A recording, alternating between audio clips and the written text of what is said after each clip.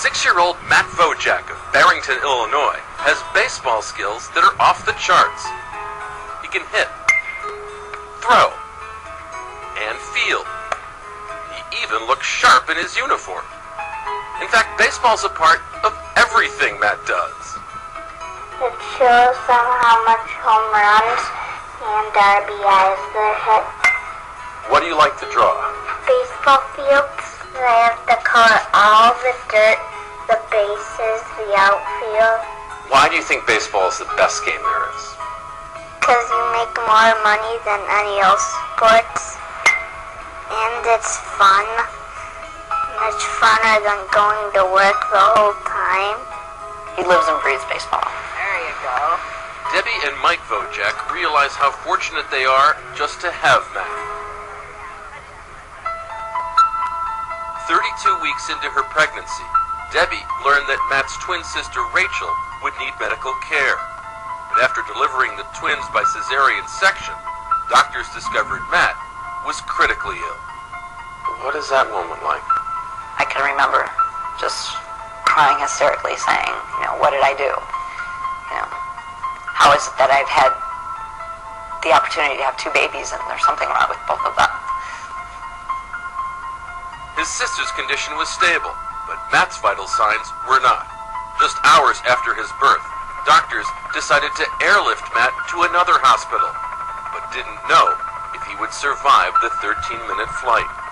So they told Debbie and Mike to say goodbye to their newborn son.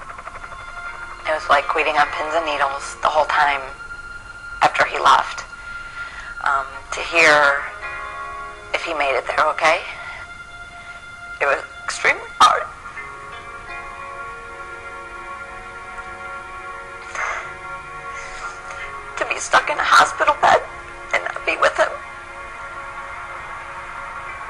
Matt was diagnosed with a heart defect that required immediate surgery. He was only four days old when the doctors had to crack open his chest. They warned Mike to prepare for what his son would look like afterward. It was, you know, it, it was difficult when we saw him. It was, it, it almost didn't even look like a child anymore. His whole chest area was all opened. Know, picturing your little boy there and, and seeing him in that condition was just, it was just heart wrenching. Someone had told you at that moment he's going to be running around, he's going to be a big baseball player. I would have never, ever imagined that. Ever. It would be, it's a miracle that he's alive.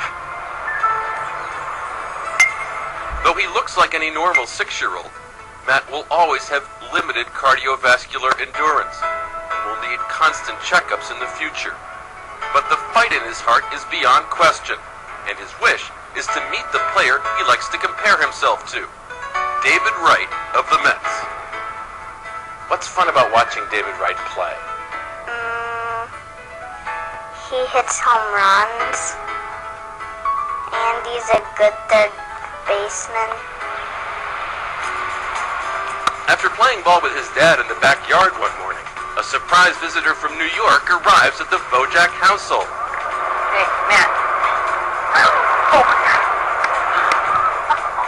Mr. Met gives Matt a uniform and an invitation from David Wright to spend time with him and the team as they play in Milwaukee the next night.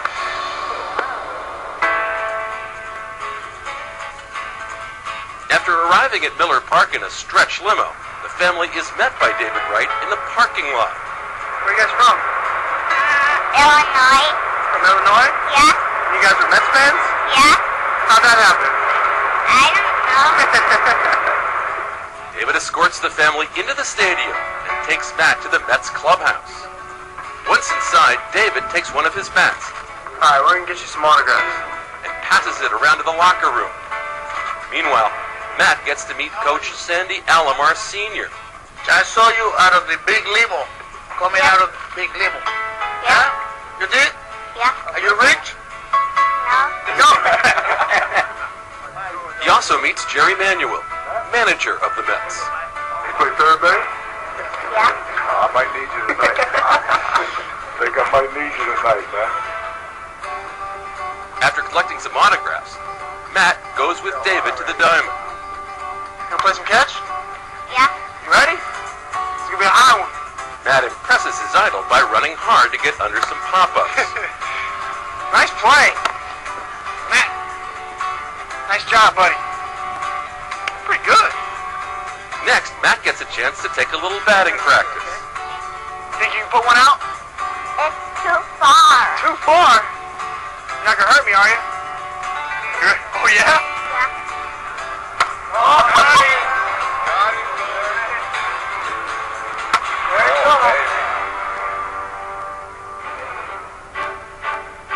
Then move to the Miller Park wall, so Matt can swing for the fences. We need a homer. There you go. And now the boy who barely survived his first day, nice. who spent months fighting for his life, There you go. hitting balls over the fence in a big league park. Home run. Nicely done. A friendly goodbye ends a glorious day, while an exhausted Matt has a head filled with new dreams, and is already thinking of how he'll use one of his gifts from David Wright in the next backyard game.